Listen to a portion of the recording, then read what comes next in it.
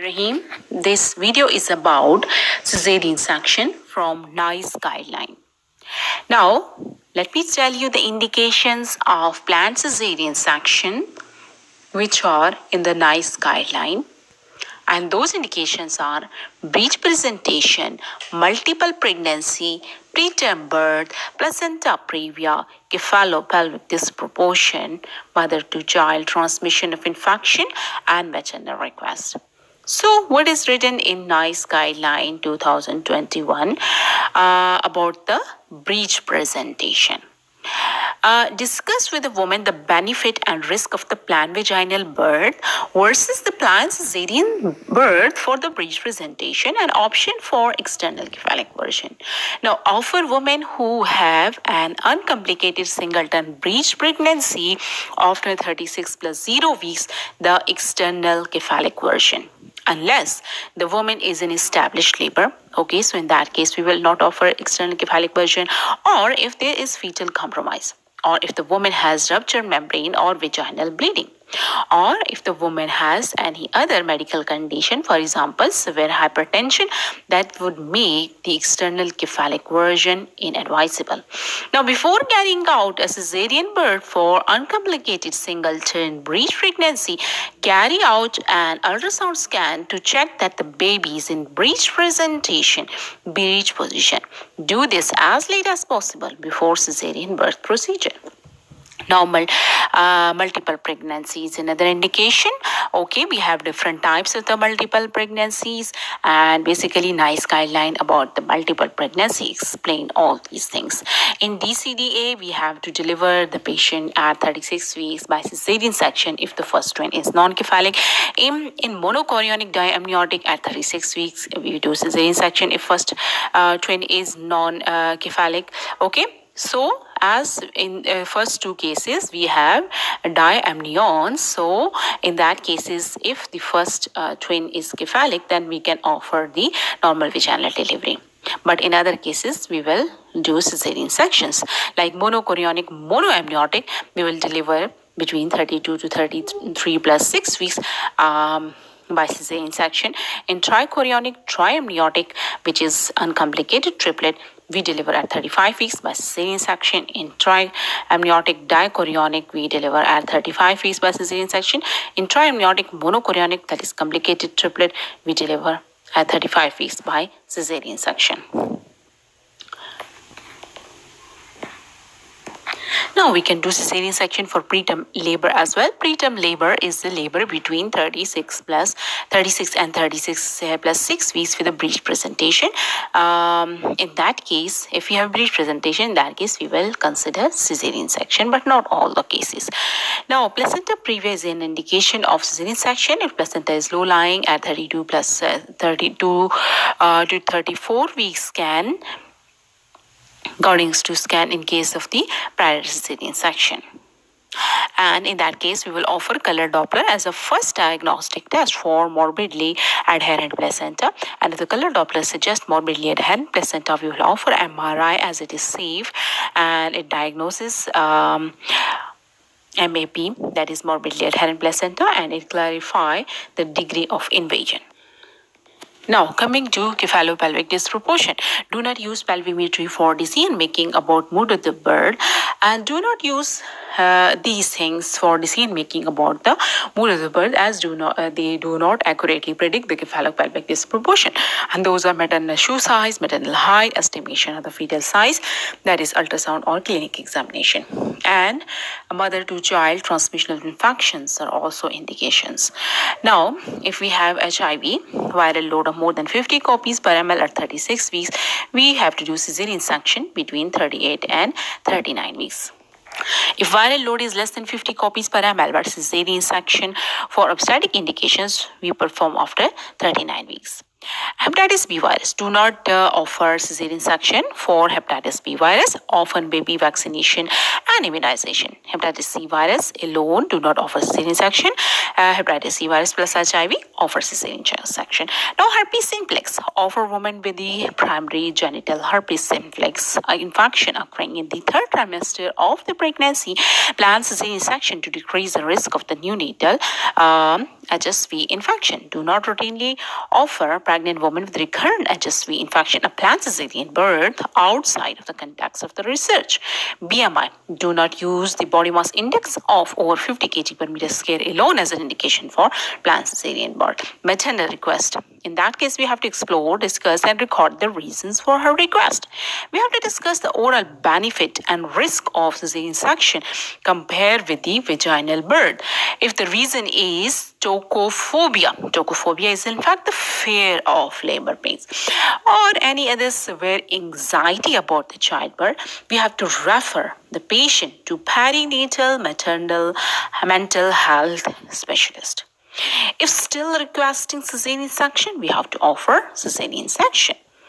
Now, there are certain factors which reduce the likelihood of cesarean section. You have to inform the woman that continuous support during the labor from woman with or without prior training reduces the likelihood of cesarean birth. We have to use a partogram with a four uh, hour action line to monitor the progress of women in spontaneous labor with an uncomplicated singleton pregnancy at term to reduce the likelihood of cesarean birth. Moreover, we have to involve the consultant obstetrician in decision making for cesarean birth. Basically, in this uh, video, I have uh, highlighted very important points of the NICE guideline okay? And i recommend you to study important points from here and then open the nice guideline. It will be very easy for you to understand after that. Now we have to study the factors having no influence on the likelihood of cesarean section. And those are walking in the labor, non-supine position during second stage of the labor, immersion in the water during labor, epidural analgesia during the labor, the use of the raspberry leaves. Okay, people say that these are having some likelihood of reducing the risk of cesarean section, but the research shows that they do not have very much profound effects. Now, coming to the point of slow progression in the labor and cesarean section. Now in this um, guideline, it's written about slow progression that we do not have to offer these things like active management of the labor, okay, early uh, routine amniotomy, routine to early vaginal examination, oxytocin in labor, um, if the labor becomes slow and early amniotomy okay? Because these do not have much profound effect. Now eating during the labor inform the women that eating the low residue diet during the labor that toast cracker and uh, low fat cheese results in the larger gastric volume. But the effect on the risk of aspiration if anesthesia is needed is uncertain. Okay she can take some uh, light foods but not too much. And um, maybe she needs anesthesia due to certain reasons or maybe she lands in cesarean section. So in that case eating is risky for her.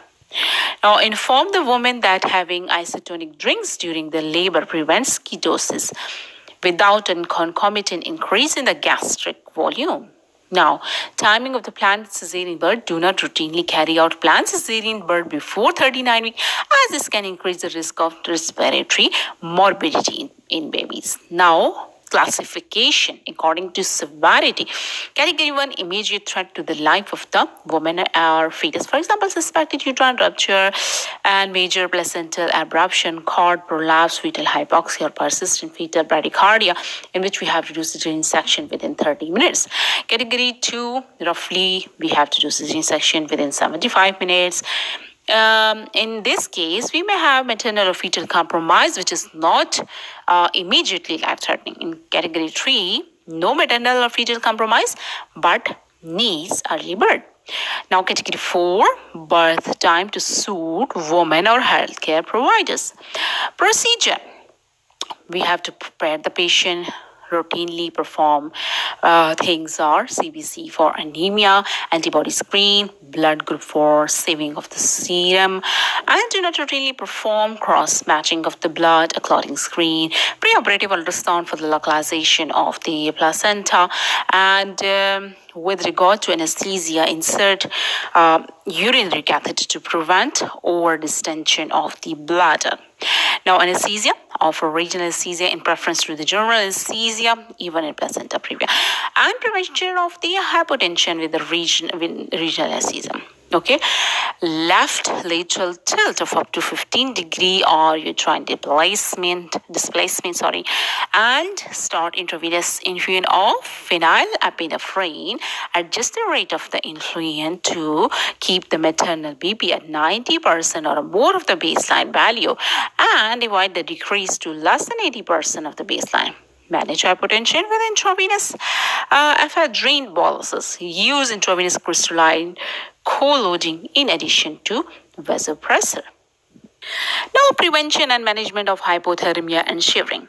Warm heavy fluids 500 ml or more and the blood products used during cesarean birth at 37 degrees Celsius using of fluid warming devices. Warm all irrigation fluids used during the cesarean birth to 38 to 40 degrees Celsius in thermostatically controlled cabinet. Consider forced air warming for the women who shiver and feel cold or have a temperature less than 36 degrees Celsius during the cesarean birth. Now, surgical techniques. Infection control, first of all, we have to do the skin preparation. For that, we use alcohol-based chlorhexidine before cesarean section. And if that is not available, use alcohol-based iodine. Vaginal preparation with a rupture membrane, use aqueous iodine before cesarean section. That reduces the risk of endometritis. And if that is not available, use aqueous chlorhexidine and antibiotic prophylactic antibiotics before skin incision. Now, neonatal care practitioners skilled in the resuscitation of the newborn baby should be present during cesarean section performed under general anesthesia or if there is evidence of the fetal compromise. Ensure appropriate thermal care and the skin to skin contact between the mother and the baby. Support women to start breastfeeding as soon as possible after the birth. Now, coming to the pain management after cesarean section, after spinal and epidural use oral morphine sulfate if cannot take oral medications. Offer IV IM subcutaneous morphine. And after GA, IV uh, patient control analgesia or oral morphine sulfate and add regular paracetamol and NSAID to reduce the need for opioid. And if NSAID cannot be used as add codeine to paracetamol. Do not offer codeine or co-codamol to the breastfeeding woman. Now, in case of the severe pain and pain relief is not sufficient, full assessment to exclude the other causes for the pain, for example, sepsis, hemorrhage, urinary retention, and stronger medications. Short course of the tramadol or oxycodone at the lowest effective dose and laxative with the opioids, prevention of the constipation, antiemetics with opioids if needed for nausea and vomiting. And if BMI is 35 or more, consider negative pressure wound therapy and remove the standard dressing 6 to 24 hours after cesarean section. Now observe fever, signs of infection such as increasing pain, redness or distort, separation or dehiscence. Advice loose comfortable clothes and uh, cotton underwear. Clean gently clean and dry the wound daily. And drinking and eating. Patient can eat and drink as normal if recovered well without complication. Urinary catheter remove once she is mobile after regional anesthesia no sooner than 12 hours after the last stop of dose respiratory physiotherapy not routine and then discharge the patient. Now VBAC vaginal birth after cesarean section. The risk of the uterine rupture is high for the planned vaginal birth. The chance of the vaginal delivery is higher for previous cesarean section was followed by vaginal delivery labor in a unit with immediate access to cesarean section and on-site blood transfusion services. Electronic fetal monitoring during labor is also very important.